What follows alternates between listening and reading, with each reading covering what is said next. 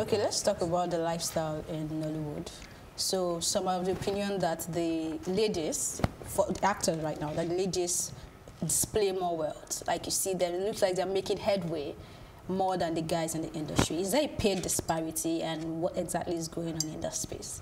Um, honestly, I couldn't really speak on that. Um, see, I tell people, um, I, I don't do a lot of interviews because my journey is very spiritual to me. I'm not part of that. I'm not, I don't see myself in that circle of Nollywood and the lifestyle. No, no, no. I have a purpose. I left America to achieve something, my African dream. So Nollywood, it's, it's, uh, it's encompassing, or it's encompassed in that. I might be doing something else tomorrow. I have a goal. I have where I see myself. So this part, it's a chapter, and not one book tells the tale of an entire book, uh, story. You understand what I'm saying? Mm-hmm. So when it comes to looking at the female doing better and men, I don't know how, why they do better, mm-hmm. how they do better. It's none of my business.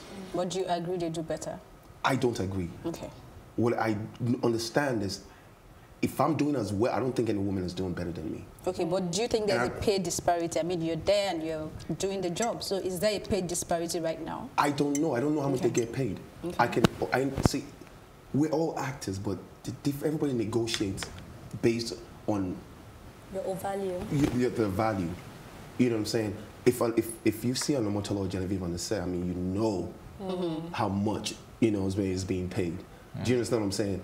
And if you see other actors, and you're like, okay, that maybe these people don't get as much, but people do get paid. Mm. There's a lot of people package. Pick Instagram. I, what I say to what I say to myself is, are your moments actually memorable, or are they created or manufactured just for the photo? I am a very like there's I have um, zero tolerance for tardiness. I don't play. I don't have time for all that. You know, I, I have kids. I'm on a journey, and I need to achieve my goal. So all those things, the the the, the lifestyle and everything that surrounds it, I I don't pay any attention to that.